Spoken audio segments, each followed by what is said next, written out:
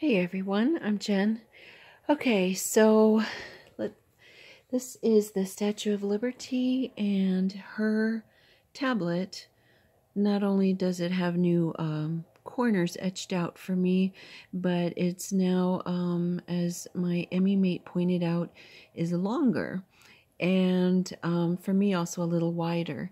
So those of us who have ex been experiencing the Mandela effect um, I, I've now gotten to the point, so what? You know, many of us have like, yeah, yeah, yeah. Reality changes, geography changes, anatomy changes. Um, it's not just about logos, statues can change, and history says it's always so. Speaking of history, history can change. But uh, the reason why I still stick with it is that they can be clues, they can be seen as benevolent clues. So, um, I don't know if part of her her label here is um this is a souvenir from the lovely lady's house that um is letting me stay in her room. So I don't know um if that six is really like that from July 4th, 1976. But as of now, um the only gold thing is her flame and her pointer finger looks to be pointing up at the flame I don't know, it, it, um, the finger seems a little different or it's closer to the, the torch. And, um, of course, I'll quickly repeat the changes that I have um, seen. She used to hold the, the torch um, with this arm. The elbow used to be bent. Um, I never counted these, but just to say, these represent the number of dwarves that Snow White has, seven, seven, seven. Um, so far, the only gold thing here, which it used to all be the same color, is this, but there's a prediction by... I'll include the link be below. Oh, an Orby um, by Mars Rats um, that um, the crown is going to turn on gold.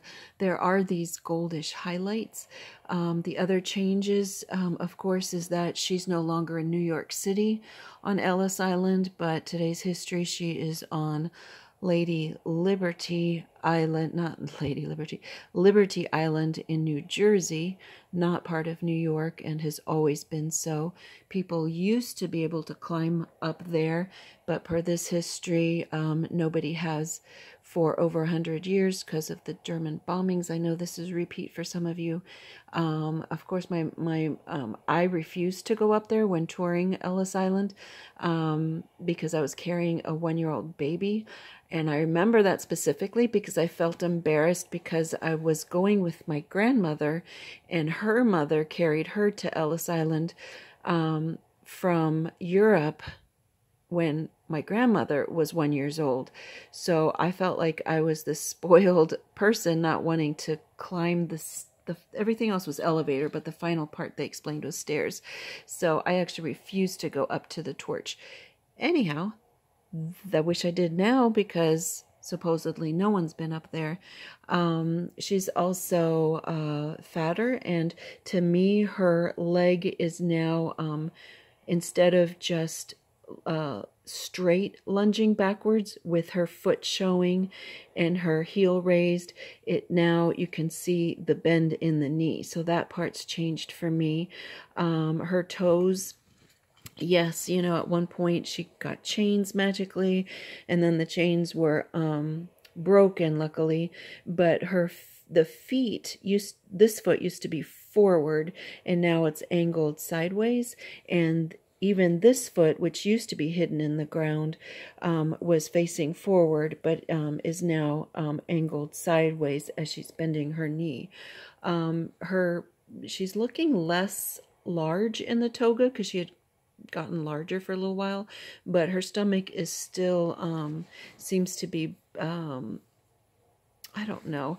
Her boobs are perky, but I felt like her stomach looked like it was still aligned with her perky boobs. So she's just not as feminine. And then um, the link below has a theory that uh, kings wear crowns. He's predicting that this crown is going to turn gold and that the face, who's no longer feminine, looks like Elvis, is looking like Elvis the King um, whose famous song is Viva Las Vegas, and Vegas is connected to Vega. So I don't know. He put all those pieces, uh, parts together, but for me, I do believe that these are benevolent clues.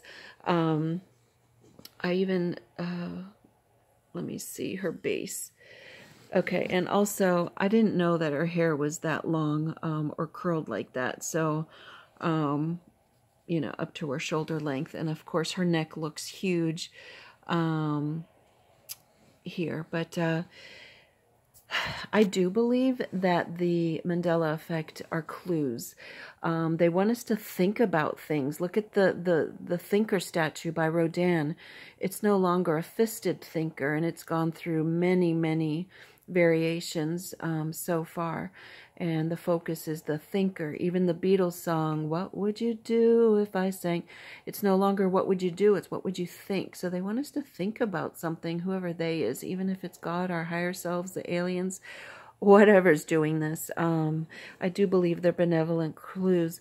And even though I'm not a religious person, I am a spiritual person and do believe in prayers, or that's another way of saying with your heart, putting your um, focus in, you know, on the intention, what you want. And I believe that that is um, going to be a remembered um, ability that we have to just literally um, put our intention on something and that can um, make it be true in our reality.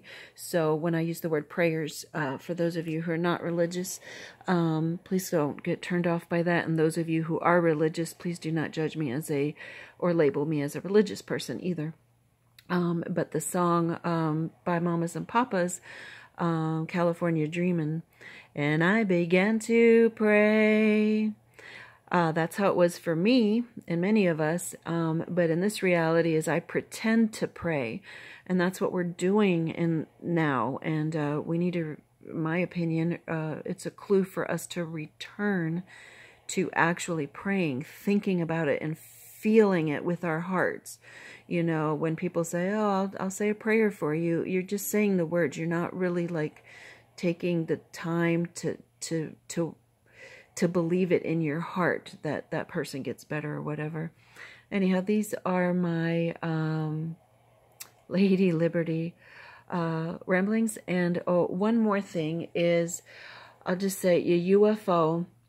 I'll just point here like it's up in the sky. Um, but two nights ago, I saw a stationary UFO, which literally means unidentified flying object. So it, I did not know what it was. It was red lights and some yellow, but mostly red lights, and the lights were flashing, but it was stationary.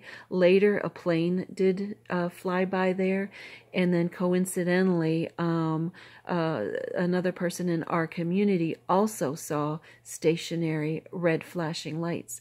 And um, she is on the western coast of Canada, and I am on the eastern um, I'm in Georgia, which is an eastern state, a coastal state in the USA.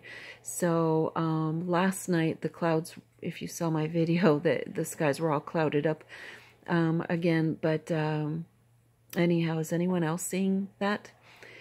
And I love you. So lots. And I love you. Okay. Mwah.